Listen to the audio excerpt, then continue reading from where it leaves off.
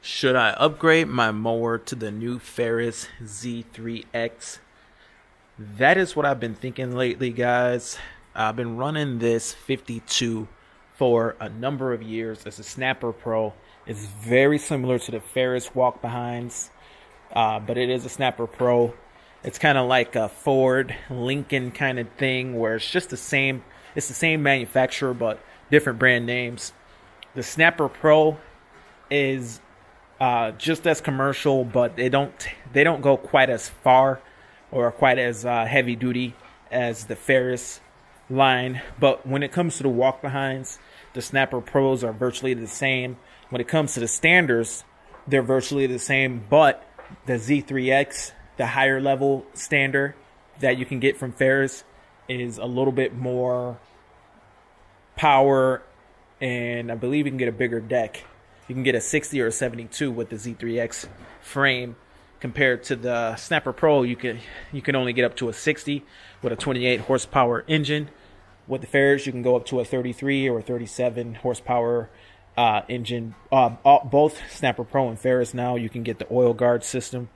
But the topic today is should I upgrade to the Ferris Z3X I've been looking at a 52 Ferris Z3X and the reason well, the reason obviously that I want to uh, upgrade is for efficiency, power, you know, just making more profit in general. But I'm a little bit nervous about upgrading to different controls, guys. I've gotten so used to using the cruise bar that you have on your walk behinds. This is what I've always used.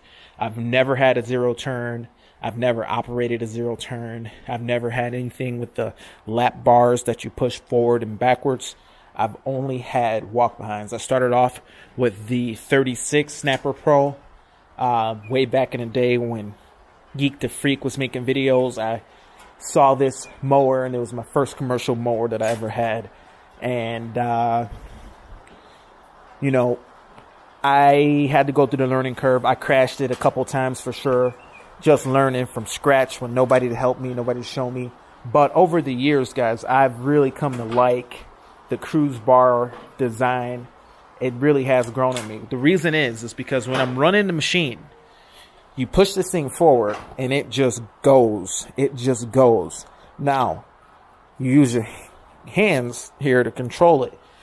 And just by squeezing this all the way closed, your wheel is going in full reverse. So it's easy to re- it's really easy to zero turn this because when you're standing up here you can see both your wheels. This one's a little harder to see the right hand wheel because the uh, gas tank is in the way. But uh, particularly on a 36 when you're standing here you can see both your wheels. So you can really see uh, in real time if your wheels not if your wheels stationary so you're not tearing up the lawn. You could really zero turn these walk behinds really easily. So you know just having the w- the way that this control the, these controls are with the grips i'm able to just flow through the work you know. I'm able to get really close to things. I can go full clip towards something and stop on a dime and not hit it. I could swipe real close to stuff. I can get the deck real close to stuff and I'm a little bit nervous because I'm not going to be used to doing this. It's not going to be intuitive for me. And I'm not sure, it's, you know, how it's going to be. It's going to be a little bit of a learning curve, but um, I will have to get used to it. The one downside to this system is uh, a little bit of stiffness in the hands. My right or my left hand right now has a little bit of stiffness in it from squeezing this for like literally the whole day because right now no one's helping mow. They're helping me trim and edge, but they're not helping me mow. So I've literally cut all the lawns by squeezing the grips. And uh, that will take its toll on your hands if you have arthritis. Now, really, the reality is arthritis uh, can be treated by just taking certain vitamins and things like that and just really eating healthy trust me, arthritis will go away. So it's very minor. I can barely feel something in my left hand. Left hand.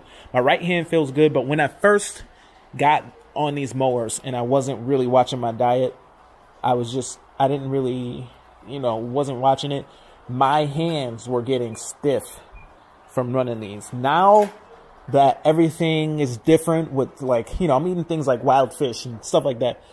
Uh, that issue has pretty much gone away. Now this week I've been slipping on the diet a little bit, but if I were to get hundred percent clean, I know that would go away. So that's the only thing, you know. Uh, another thing is the well, that's not the only thing, but another thing is the Sulky.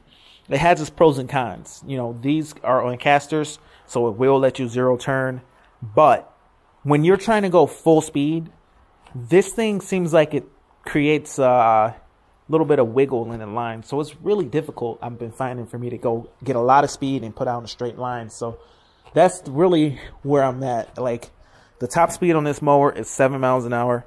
And if I go top speed in a big open area, things just don't look straight to me. So uh, in a small little lot, you know, a small residential house like what I have here, I can easily go like full speed because the, the, stripes aren't that long, so it doesn't really show up. But on a big lawn, man, it shows.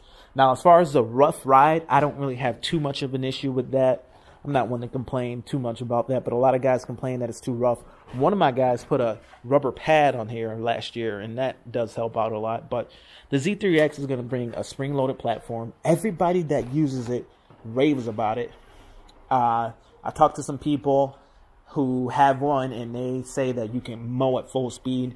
When I mow full speed with this machine, things get a little squirrely. Just the lines don't look as straight. So hopefully I can get full speed out of the Z3X on some lawns. I know some lawns are going to be too bumpy to get full speed, but you know, hopefully, you know, that is. I'm going to look into getting one. Uh, maybe I'll try one out, but tell me what you guys think. Should I upgrade? I think it's time you know, I think the Z3X is going to have a smaller footprint than the uh, walk behind here. This thing, it gets kind of long. You know, the front wheels, I think on the Z3X sit a little tighter to the deck. And then the platform, I think you actually end up standing in between, somewhat in between the wheels. So that's going to be interesting. Hopefully, you know, it has a smaller footprint because if it does, you know, I got my 36 I'm gonna keep that girl. This thing still runs good. I just had it, guys. I I got 500 hours on this, and the reason it just don't get used that much. Once you got the 52 and a bigger mower, you just don't use it that much. And it was running rough, but man, I just had everything adjusted. There's valve lash adjustments here in my shop. They did everything. They cleaned it up. I've pushed these mowers so hard.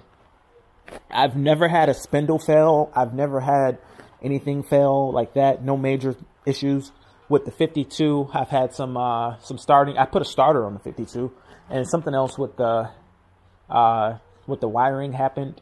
One of the fuses blew or something. But other than that, no major failures, and that's pretty impressive. I've run these mowers so hard that the engines have been knocked loose on both mowers.